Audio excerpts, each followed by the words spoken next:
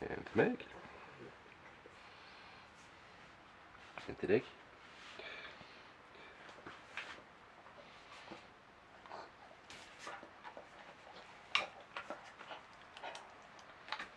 Misschien nom nom nom.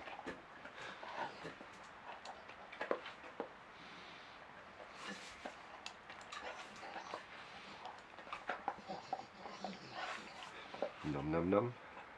Ingen nom de mettre